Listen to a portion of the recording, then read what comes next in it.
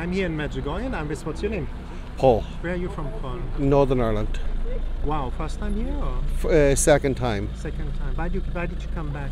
Uh, last year we came for the first time with my brother and his wife Michael, who you've just spoken to. Uh, the reason why we come, uh, myself and my wife, who's beside me, uh, is because we lost our son two and a half years ago to suicide. Yeah. So happened to me, my sister, you know, as well. So did it? Yeah. Yeah. what? It's like Chernobyl, no? It's like like It's, atomic bomb exploded. Uh, in front of your unbelievable. It's only recently in the last few months, I would say, we're starting to get some peace. Mhm. Not but last year here we went back home, and we have to say we did get a lot of peace. Mhm. Uh, we felt the presence of Our Lady.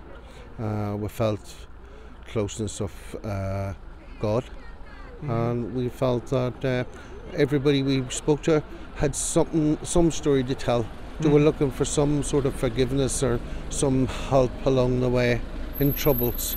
Mhm. A lot of troubled people come here. Yeah. That's what I find. Um, like ourselves, uh, and it's been horrendous for myself and my wife. My son, Mhm. I know he's with God and with Mary. He has to be because he was beautiful, beautiful fella, lovely, lovely, lovely. All he ever done was help people. Mhm. He, uh, that's all he ever done. He was just so good natured. He was too good for this world, really. Unbelievable. I can see that. Like the father, like the son, I can see Yeah, that in yeah, you know? yeah.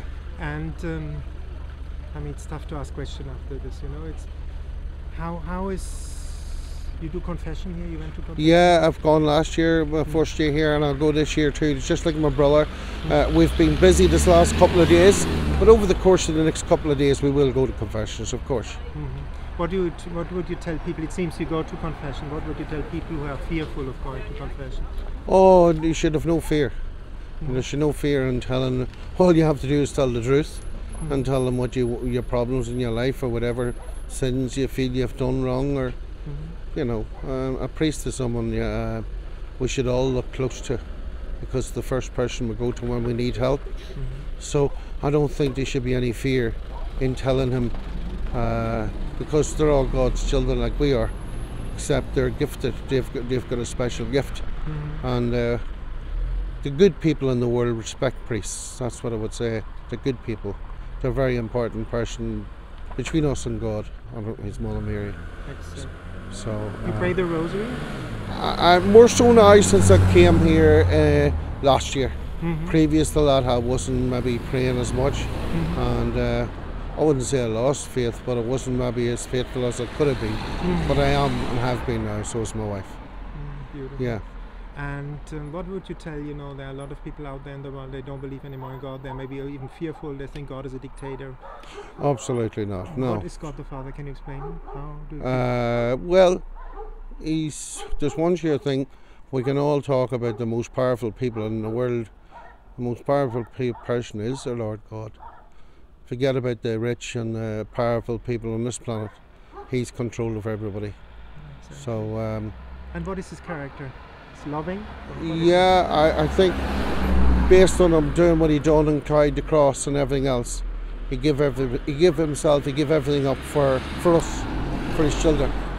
So So. I don't think we're he's asking much of us when he's asking us to be good, pray for everybody else around us, and uh, respect people. You know. So yeah. Beautiful. And you know what? You know um, what is Medjugorje then for you? What is so special about this place here? Mm, um, well, from the first time we came, sometimes people say, "Oh, you've been once, you'll not go back." Mhm. Uh, for Bernadette, my wife Bernadette, and myself, it's peaceful, Mhm. and it's somewhere where we got a great sense of relief um, to let our son go. Uh, where he is going to and let him get on in the next world with uh, who he's with. So we got that the last time, Mhm. and I suppose we just want to carry that on. Mhm. That's it. Medjugorje is beautiful, lovely place to come, and everybody's so nice as well. You know.